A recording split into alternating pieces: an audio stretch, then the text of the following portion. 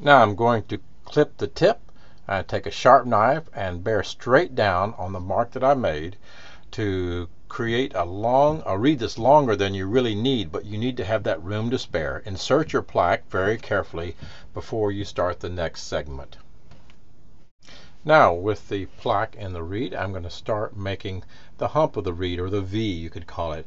And I am very carefully when making sure this cane is wet making a a sort of semicircle that you have marked out with that with that uh, pencil mark so you can stay in your boundaries. It's going to be a lot longer, but you want to have room to mess up, so to speak. And, and believe me, we mess up a lot of reeds as you learn and uh, do better.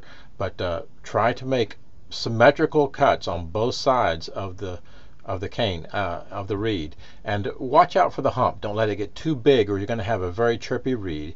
So I'm cutting down the hump a little bit on the left side and the right side. Not in the center too much but the left side and right side of the reed. Now I'm going to clip the tip and be very careful. Bear straight down. Give a good solid clipping of the tip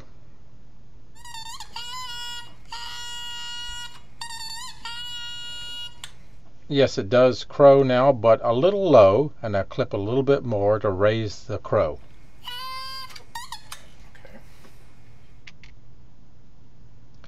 Now I'm going to work the tip a bit and clean up the tip, get all the uh, thickness out of the sides. Don't worry about the center of the tip. Stay away from the center of the tip. It'll take care of itself, but work the, the, uh, the hump, get that more defined. Uh, you don't want to have uh, too thick uh, of a uh, of a hump, but then also you don't want everything too thin on your tip so you don't have a chirp, you know, that high squeak.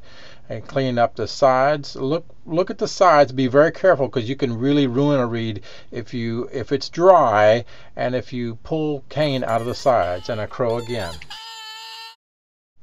Again, just a little bit low, going to clip just a little bit more, very small amounts, bearing straight down, giving a good, uh, a good bit of pressure. Again, it's a little bit low. I'm going to do a final cutting here, just a last little tiny bit there, and give it a try for the crow now and see where it is.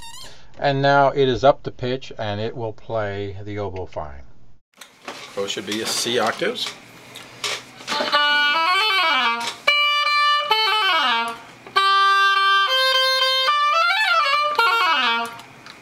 Do that.